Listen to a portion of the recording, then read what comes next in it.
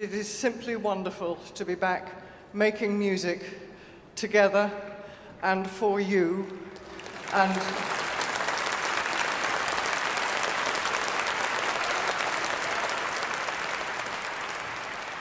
And basically, there's really only one word that best sums it up, isn't there? Hallelujah.